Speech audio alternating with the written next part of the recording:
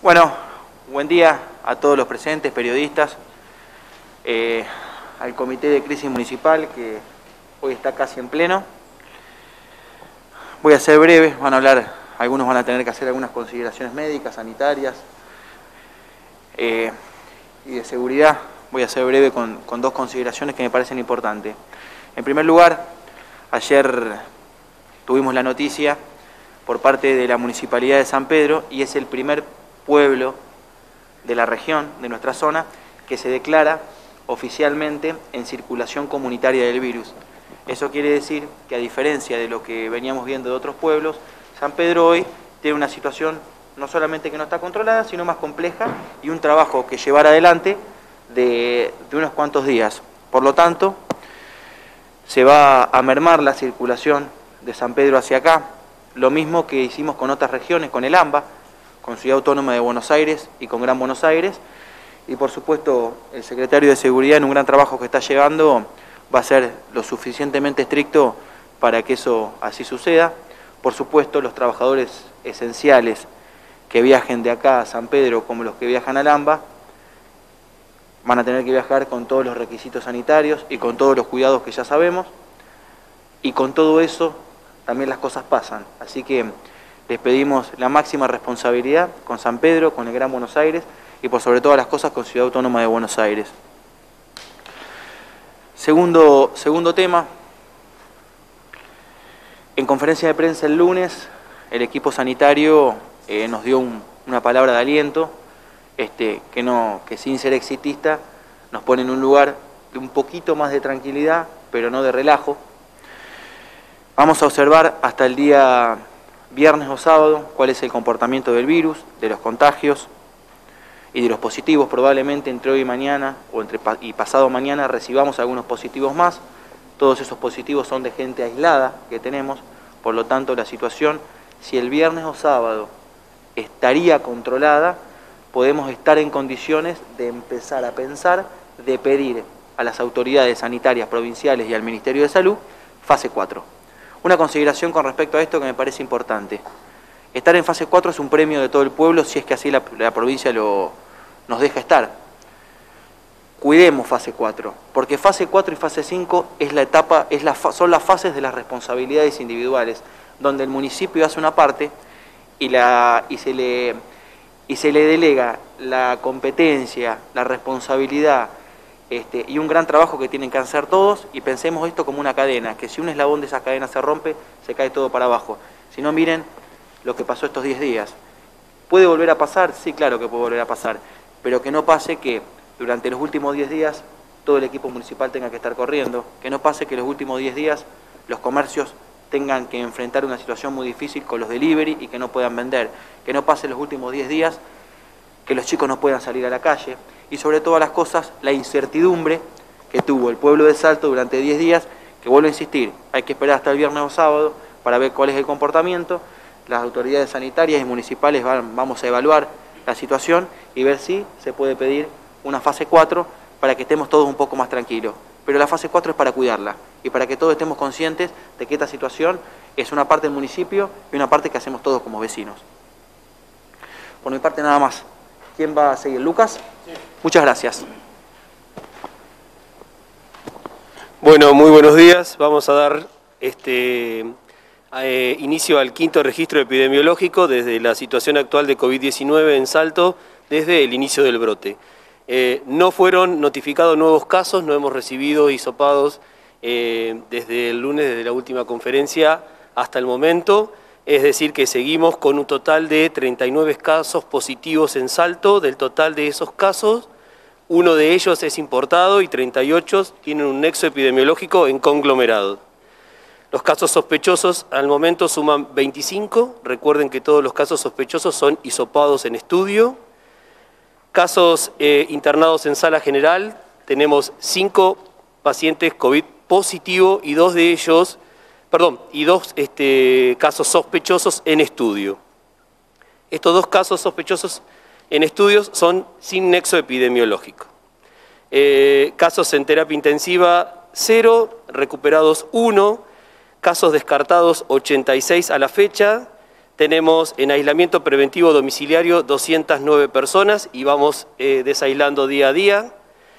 Eh, aislamiento en centros intermedios, no tenemos pacientes. El total de hisopados realizados en Saltos es un total de 141 y un total de hisopados realizados en otras ciudades suman un total de 13.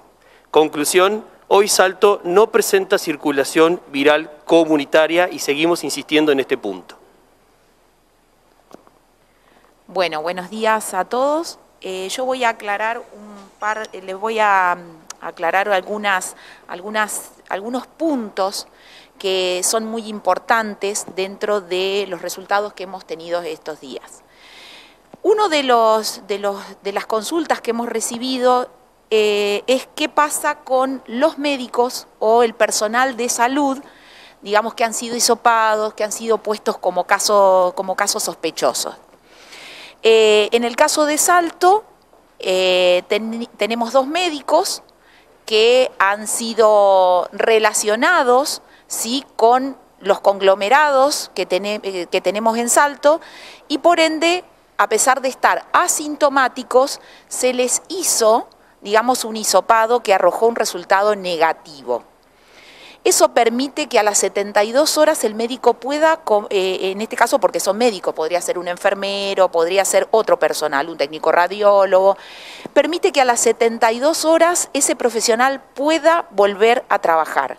Así que quiero que tengan en cuenta que el personal esencial no tiene las mismas condiciones de cuarentena excepto que fuera positivo, por supuesto. Pero en el caso de los casos negativos, a las 72 horas, estas personas pueden volver a trabajar.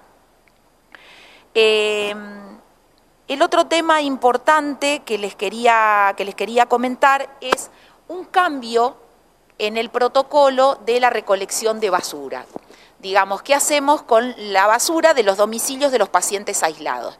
Que por supuesto han aumentado mucho en número, ustedes habrán, eh, eh, en los reportes habrán visto 200, 250, en algún momento llegamos a 500, lo cual, digamos, más o menos, imagínense que son unos 100 domicilios, haciendo un promedio de 5 personas por, eh, domicilio. Eso generaba, generar, digamos, ir a buscar la basura en forma personalizada, digamos, es un, un trabajo excesivo, y en realidad lo que eh, decidimos es poner en práctica el protocolo oficial de provincia con respecto a eh, los residuos que quiero que escuchen atentamente. Si yo tengo un paciente aislado en el domicilio, en aislamiento domiciliario, lo que la basura se debe colocar dentro de una bolsa, la basura de esa persona, si es uno, o de toda la familia, ¿sí? se debe colocar en una bolsa y esa bolsa se tiene que colocar dentro de otra bolsa. O sea que tenemos dos bolsas para la basura de esa persona que está aislada en el domicilio. Si el resto de la familia no está cumpliendo ese aislamiento, esa doble bolsa se pone dentro de la bolsa de la basura general de la casa y se saca para que el basurero el recolector de basura se lo lleve. En el caso que toda la familia esté aislada, porque tenemos grupos de, familias aisladas, todo se pone en doble bolsa, ¿sí? Una bolsa, otra bolsa y todo se saca, eh, digamos, afuera para la recolección habitual, ¿sí? ¿Qué puede, uno se preguntaría, y bueno, pero ¿y esto qué puede ocasionar? ¿Es un peligro? En realidad no es un peligro si la basura se trata como se tiene que tratar, ¿sí? que es no, no pasar por, la, por las calles y romper las bolsas, ¿sí? y que los, obviamente el personal de recolección de, de basura este, mantenga las medidas de higiene y seguridad que le fuimos enseñando y ahí se terminó el problema con, la basura. Así que es muy importante, recién lo dijo el secretario, hay responsabilidad de cada uno. La responsabilidad de cómo sacamos la basura es de cada uno. ¿sí? Así que después les vamos, a, les vamos a estar pasando alguna imagen digamos, para que puedan chequear eh, cuando quieran saber cómo se hace. Eh, esto va a estar publicado en, la página.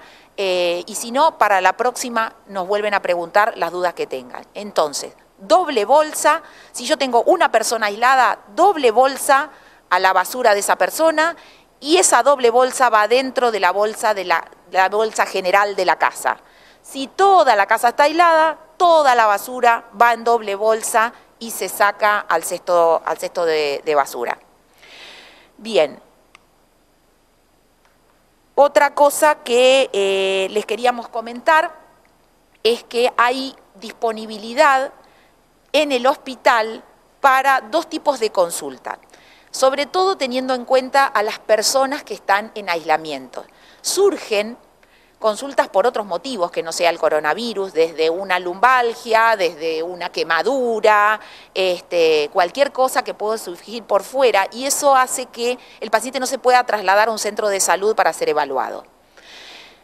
Lo que van a tener que hacer esos pacientes es llamar al hospital, a los teléfonos del hospital, 43 10 20 42 50 83, registrarse como que necesitan una consulta y lo que vamos a hacer son consultas virtuales. Van a recibir una videollamada de un médico, ¿sí?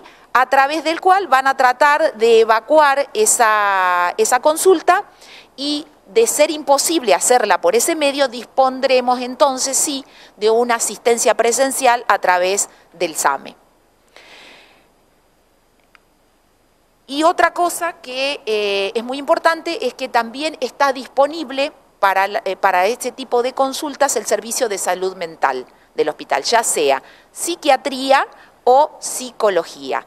¿sí? Lo que tienen que hacer es llamar a los teléfonos, registrarse y van a recibir una llamada o una videollamada del personal dispuesto todos los días para este tipo de consultas.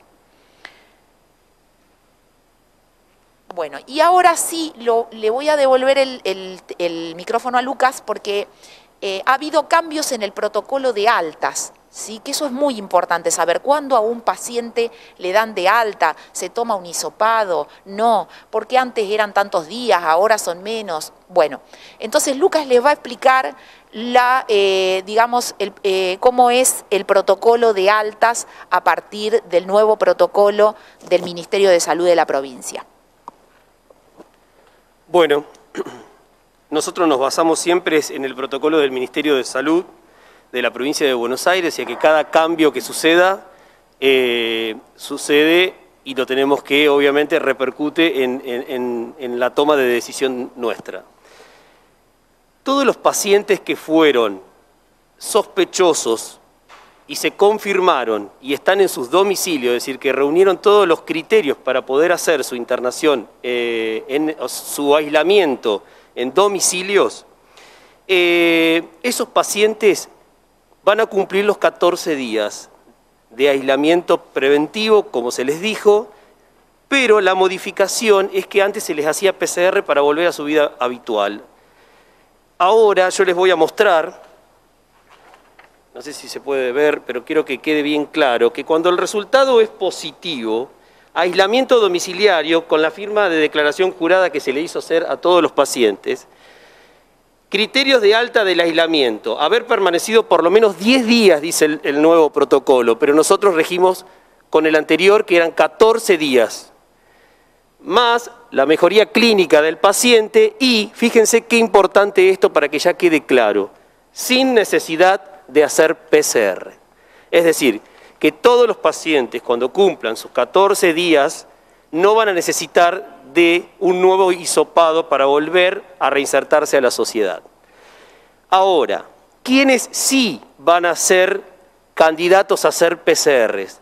Todos aquellos pacientes que nosotros seleccionemos y puedan ser donantes de plasma. Eso es muy importante porque recuerden que todos los pacientes internados, ya les va a hablar bien el doctor Torres Traba, recibieron plasma de convaleciente, entonces nosotros lo que queremos es que toda persona eh, que haya recuperado esta enfermedad, ver si entra dentro de los criterios de posibles donantes. Esto obviamente es para aquella, aquella persona que está en su domicilio. Totalmente diferente a lo que es un alta en la parte hospitalaria, en donde el paciente está internado, y sí, además de la mejoría clínica, necesita tener eh, estudios de PCR negativos para darle el alta. Ah, eh, sí, eso es otra de las cosas importantes, que esto se consensuó ayer con la doctora Karina Bonacalza, que hablamos en zona cuarta, y es que le vamos a hacer PCR a aquellos pacientes que tienen que reincorporarse en lugares cerrados, como por ejemplo alguna fábrica, este, para estar seguros de que ingresen con PCR negativas.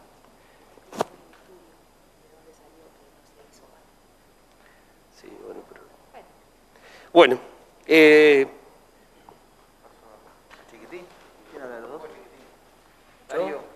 Continuando con, con el tema de salud. Bueno, buenos días a todos.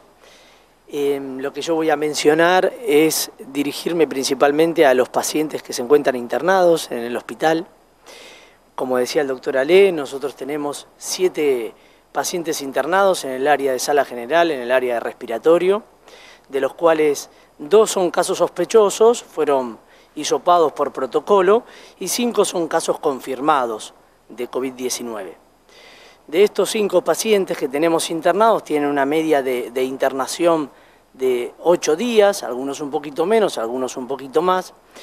Y de estos cinco pacientes, en el inicio de la internación, tres de ellos desarrollaron una infección respiratoria moderada grave, con una evolución tórpida en las primeras 48 horas de internación, lo que nos, nos obligó a buscar otras herramientas de tratamiento y dentro de esas herramientas de tratamiento fue la posibilidad de presentar los, los cuadros clínicos que presentaban estos pacientes en el protocolo de administración de plasma convaleciente y con ello se pudo administrar a tres de estos cinco pacientes el plasma.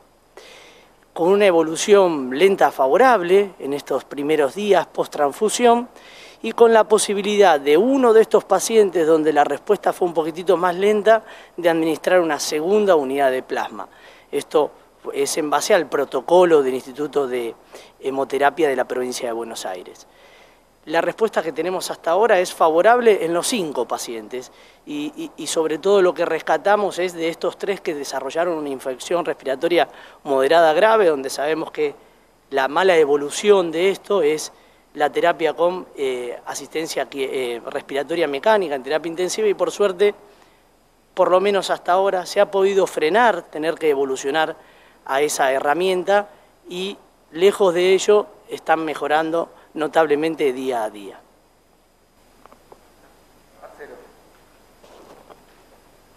¿Qué tal? Buenos días a todos. Bueno, yo puntualmente voy a hablar de cuatro cosas. La primera que hacía referencia a Camilo Alessandro con respecto a la circulación viral que tiene San Pedro. Vamos a tomar eh, medidas iguales a las que hicimos con, con Chacabuco en su momento. Esto significa no vamos a permitir el ingreso a la ciudad de vehículos provenientes de aquel lugar sin dejar de que los comerciantes de nuestra ciudad se puedan proveer de la mercadería, pero fuera de la ciudad. Esto significa que eh, los comerciantes de Salto que tengan proveedores de allá ya se tienen que poner en contacto para proveerse fuera, fuera de la ciudad. Esto es una medida alternativa hasta tanto se, aclare la situación viral en, San Pedro. Eh, por otro lado, eh, he recibido inquietudes de que el teléfono, el 147 de monitoreo, no andaba, no funcionaba. Lo que quiero decir es esto, eh, hay otros teléfonos para hacer denuncias básicamente en lo que estamos en el COVID-19 y la, gran mayoría lo hacen de denunciando a personas que supuestamente están aisladas y no, no están cumpliendo con el aislamiento.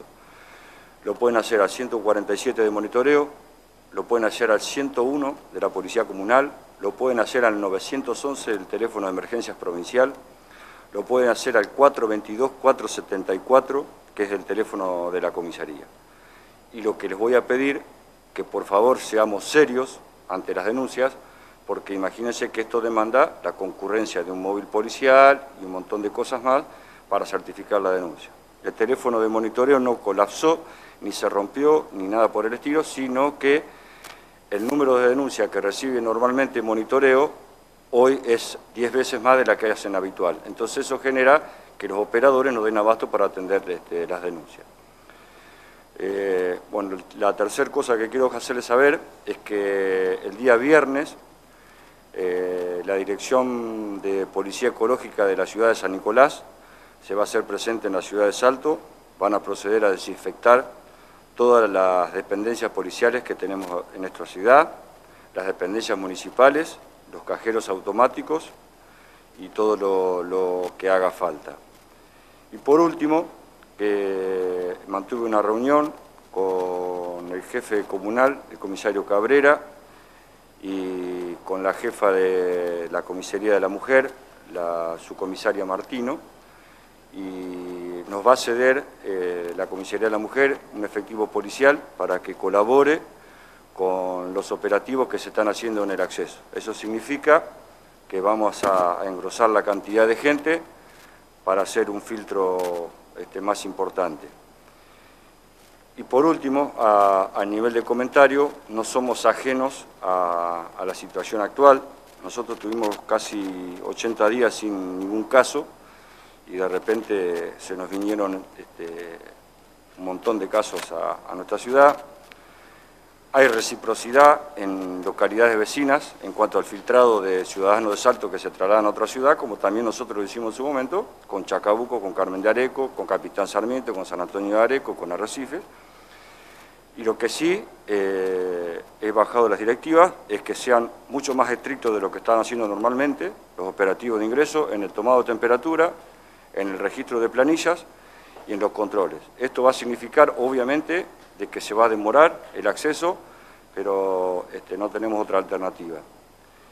Y por último, eh, lo que quiero hacer eh, es agradecer a las fuerzas policiales municipales y de monitoreo, de Rebor Seguridad Privada, de la Comisaría de Mujer que se va a incorporar, al director, al coordinador de Defensa Civil y todos los que están colaborando hoy en día en estos operativos, que hace 90 días que lo están haciendo que no se han enfermado, que no han puesto pretexto para cesar su actividad y lo están haciendo este, con mucha entereza, dedicación y compromiso.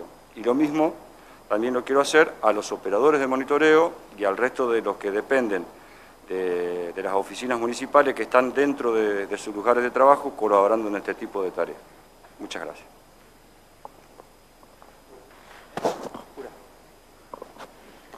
Bueno, para cerrar, dos o tres consideraciones que sí me parecen importantes. La primera que el día 30 vamos a estar en condiciones de pagar sueldos y aguinaldos completos.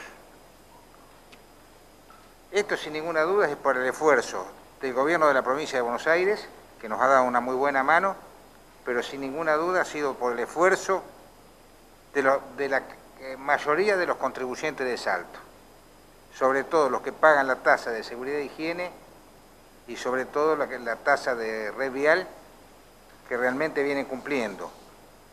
La boleta rosa es distinta porque la boleta rosa es una boleta que sin ninguna duda la, adolece parte del pueblo y somos comprensivos, pero para nosotros es importante que somos uno de los pocos pueblos que vamos a pagar en tiempo y forma. Eso se lo quería comunicar a los empleados municipales que mucho lo merecen que mucho trabajan. La segunda cosa que les quiero contar es que realmente a través de la complicación que ha tenido esta fase 3, en el día de hoy he emitido un decreto a referéndum del Consejo Deliberante que aquellos comercios que evidentemente han hecho delivery y se ven impedidos y que nosotros entendemos que se ven impedidos de que pueda ir el mismo, el, mismo cliente, pueda ir a comprar lo que tiene que comprar y que realmente se le complica cualquier cantidad a los comerciantes, vamos a eximirlos de la tasa de seguridad e higiene. Entre los que eximimos de la tasa de seguridad e higiene está la venta de productos, está la venta de productos textiles, indumentaria, calzado, juguetería, peluquería y estéticas gimnasia, gastronómicos, heladerías, PAT, locales nocturnos y canchas deportivas. Esto lo hacemos por el mes de julio. Y por último, que me parece muy importante y es de bien nacido agradecer. Agradecer a todos los que colaboran. Fundamentalmente a, a quienes me acompañan acá, que son los señores médicos, que mucho están dando. Falta el doctor Frey, de este equipo que integran, al personal de enfermería, a la policía, como dijo, a todos los que agradeció el, comisario, el excomisario Virne. Pero sin, sin ninguna duda tengo que hacer un reconocimiento especial en el día de hoy a aquella persona que atiende a los pacientes todos los días, que está al pie del cañón y atiende a los pacientes. a usted, doctor, doctor Restrava, muchas gracias, porque se lo merece. Está todos los días al pie del cañón y está todos los días con los enfermos de, de COVID. Y después va a su casa, comparte con sus dos hijos y con su familia. Realmente, todos están, pero él está todo el día en, internación, si no me equivoco. Así que esté, no es que me, emociono con facilidad yo, pero usted, doctor, se lo merece. ¿eh? Gracias por todo lo que hace por nuestra comunidad y lo que va a seguir haciendo. ¿eh? Por mi parte, nos vemos la próxima.